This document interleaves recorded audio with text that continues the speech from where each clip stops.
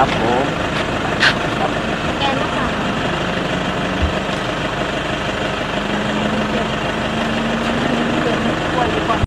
ยิ้มหวังนะฮะจบและหน้าล้างมือใบๆนะครับนะฮะ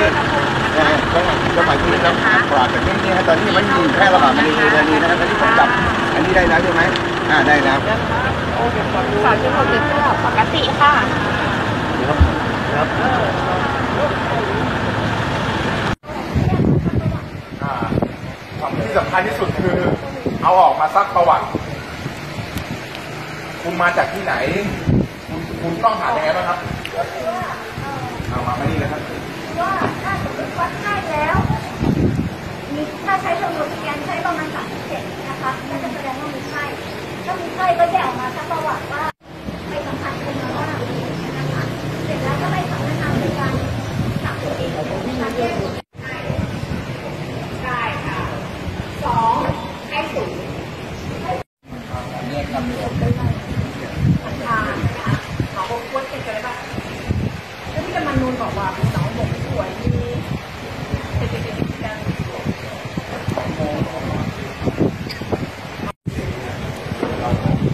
ซักประวัติไปเอาไปยอมโทรคือขอใช่เบอร์เราจะติดตามประเมินผลเพื่อตัวท่านเองระหว่างน่าจะยอมแล้วเอนะอเพื่อตัว ระหว่างไม่ไม่ไม่ไม่แน่แต่คน ที่อื่นค่ะเพื่อตัวท่านเองนั่นเองใช่เราก็ใช่ถามว่ามันแบบมันกว้างมาก เราวัดไข้ฟรีด้วยซ้ำแล้วแถมเครื่องวัดไข้ก็หาซื้อยากเหลือเกินตอนเนี้ยอสม.ผลัดแค่นี้สี่ชั่วโมง ได้ไหมอันนั้นก็ต้องหยุดต้องยอมรับสภาพ เราต้อง save ตัวเองเจ้าหน้าที่ก็ต้อง save ตัวเองเหมือนกัน อ่าเราก็ต้องช่วยตัวเองง่ายๆเลยทีนี้เราก็จะมาคุยกันว่าเราจะทำอะไรกันได้บ้างคือหนึ่งที่มาตรการเนี่ยสกัดโควิดเนี่ยถามว่าปิดเมืองอะ เราปิดไม่ได้หรอก เพราะมันอยู่ที่อำนาจหน้าที่แล้วก็สิทธิเสรีภาพ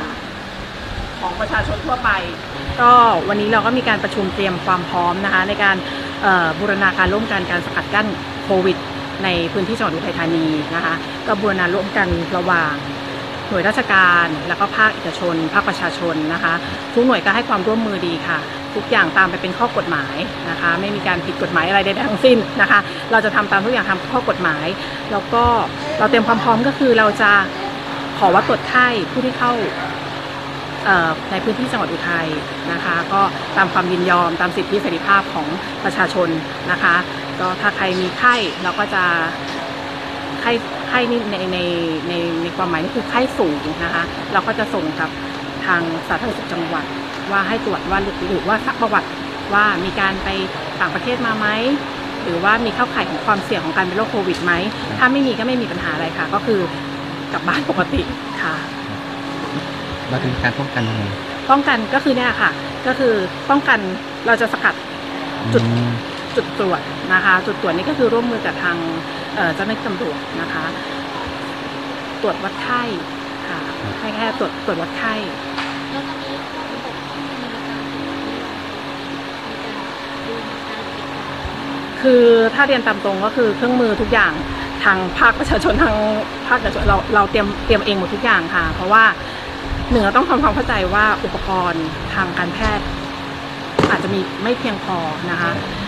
แล้วสองเราอยากจะเซฟบุคลากรทางการแพทย์ หมอพยาบาลเอาไว้ เพราะว่าเราไม่รู้ว่าสถานการณ์ต่อไปจะเป็นยังไงจะระบาดเพิ่ม หรือว่าลดน้อยลงยังไง แต่ยังไงเราต้องเตรียมความพร้อมว่าต้องให้บุคลากรทางการแพทย์เหล่านี้ประจำที่โรงพยาบาล เราจะไม่ให้ท่านลงมาที่ภาคสนาม เพราะว่าอย่างที่ทราบว่าถ้านลงมาภาคสนาม แล้วก็เกิดความเหนื่อยล้า ก็อาจจะมีผลในการรักษาขั้นต่อไป นั่นคือทำไมถึงภาคประชาชนกับภาคเอกชนท้องถิ่นนะคะถึงต้องลงมือมาทำเพราะว่ามันเป็นการบูรณาบูรณาการร่วมกันค่ะ ช่วยกันทุกฝ่ายทำได้ก็คือต้องทำ